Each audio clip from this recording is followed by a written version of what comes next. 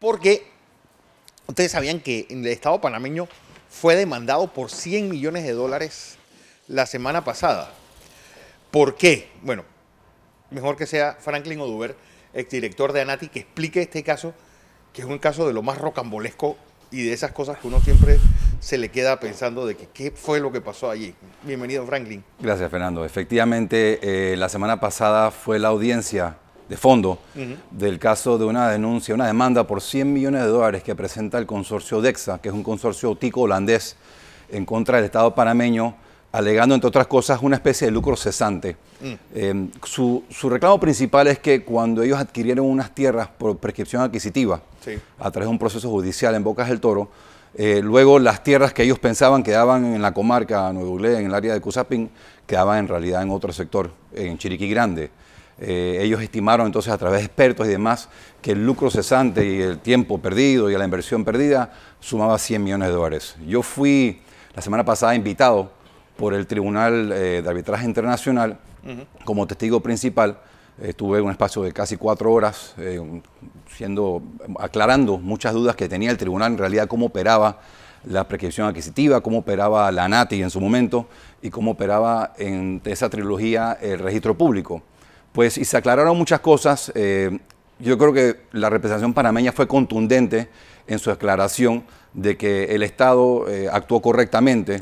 Eh, hubo, hubo un proceso efectivamente a nivel del juez que, que indudablemente tiene algún, algún problema en su legalidad, en su procedimiento. Eso lo tendrá que aclarar el juez pero no es ni siquiera en los líderes de, la comarca, es decir, estamos hablando de una diferencia de muchos kilómetros. Es una diferencia de cerca de 70 kilómetros. Esto no es un traslape, esto es un traslape de fincas de 25 metros. Para decir que, para que se haga una idea, es la distancia que hay de aquí a Chame. Es, es correcto, es, es, una cosa que es abismal, esto es, es difícil de creer.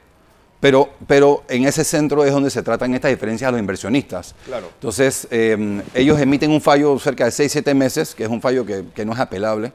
Así que esperamos que Panamá salga bien rendido. Recuerda que yo, cuando me invita al tribunal, yo, yo tenía mis aprensiones, no porque no quiero ayudar a Panamá, sino que yo fui detenido eh, en detención preventiva por cinco meses, he sido perseguido, investigado, cuantas cosas, y todo eso ha resultado en fábulas que ninguna se ha podido probar. Eh, he sido sobreseído ya. Eh, sí, es correcto. Entonces, a pesar de eso, yo creo que mi deber y mi, llamado de ser buen panameño y responder ante la patria era mucho más allá de mis intereses o problemas personales. ¿no? que yo creo que hicimos algo positivo. Yo creo que es una, una buena noticia para el país, porque realmente es bueno, es, que es realmente increíble que cosas como estas lleguen hasta un tribunal de arbitraje cosas que, y, es un proceso kilómetros de diferencia. y es un proceso costoso. De hecho, el tribunal tenía sus aprensiones cuando ellos me preguntaban a mí, ¿y usted piensa que esto es es algo que sucede mucho. Bueno, los traslapes en Panamá suceden todo el tiempo, de luego, pero un traslape son, deslindes y cosas muy, muy fáciles de entender. Metros, hay veces en, fincas de, superficies grandísimas, de 100, 300, 400 hectáreas, hay traslape, pero no un traslape que limite 70 metros de, kilómetros, de diferencia. Es una cosa difícil de entender. Bueno, lo interesante, Franklin, es que fuiste